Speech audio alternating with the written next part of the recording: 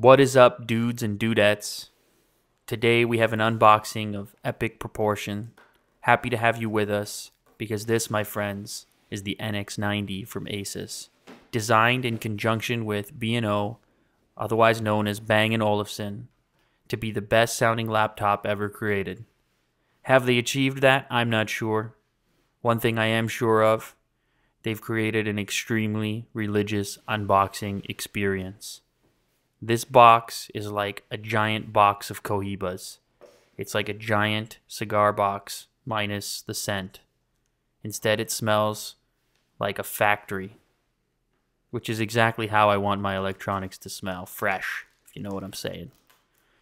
Anyways, as we pull this out, the first sort of accessory we're going to get to, because we got to get to those before we get to the meat. And this is a little box that looks like it has our documentation in it. Why waste time out there? Let's get a closer look under the bright lights. First things first, we have an NX series driver's disc. This is going to come in handy if you ever need to reinstall the operating system. And after all, this is Windows, so expect to do so at some point. Next, we've got our user manual, which feels like it's a little better quality than your average user manual. But I guess that's what we should expect. We've got some more boring documentation, as always, some safety related stuff. And the last thing in this pocket is our warranty card, which is less of a card and more of a book. Something to mention is Asus has a heavy duty warranty, two years worldwide. First year covers accidental damage, as crazy as that sounds. It's got to be the best warranty in the business. Here is a restore disk for Windows, which is cool to see because most manufacturers don't include those anymore. And we have a last little pouch here which says for you from the NX90 team. This appears to be some kind of special gift for spending our entire entire monthly income on this thing. And here we go. We have a note here from the NX90 team telling us how lucky we are to own this thing and how they've made the best laptop ever. We've also got some artwork here on the other side of it. And the rest of these cards actually ended up being postcards. Now imagine imagine that. Family and friends look out eh, because you're likely going to receive a picture of my new laptop in the mail within the uh, coming few weeks. Oh, and there's the man himself. That's the dude who designed this puppy. And so next thing we got to get into is the cables and accessories and there are a lot of these. Why waste time out here? Let's get these under the lights too.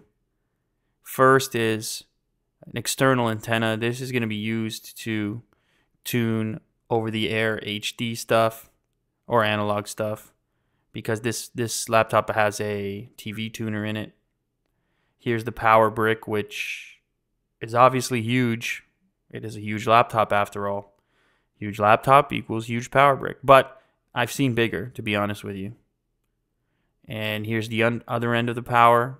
This is doesn't really need to be explained. North American plug. I'm in North America. That makes sense. Here's an adapter to hook up to a cable box or cable feed, and this is an extension for it. Now, let's get this beautiful box out of the way and get into the laptop itself. Because, after all, that's what everyone's here for. And after I remove this plastic here in slow motion, you'll notice the laptop is very reflective because you're staring at my ugly mug there. They're using polished aluminum, which is unusual. We've only seen brushed before. But look at that, baby. I mean, that stance is pretty unique. I've never seen anything like it before. Let's get closer.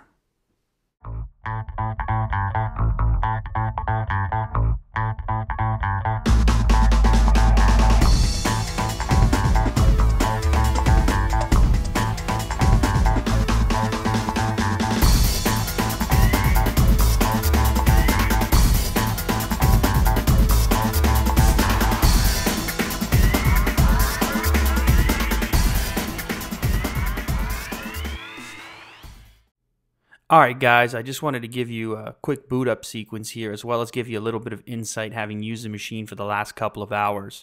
Um, first, in regards to the sound, it's not quite as loud as I expected it to be.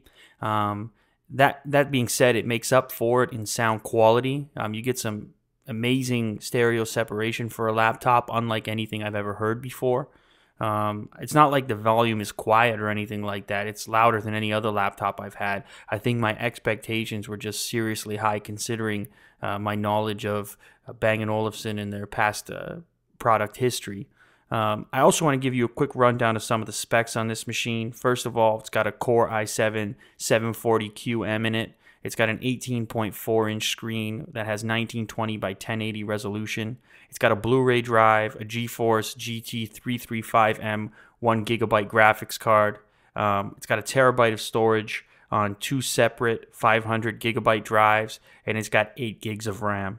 So power is not going to be an issue with this machine, but keep in mind it's 9.7 pounds. This is not portable by any means, and I sort of think it makes more sense in a stationary location, almost as a replacement for an all in one that you could pack up if you need to. Check the channel, subscribe. I love you.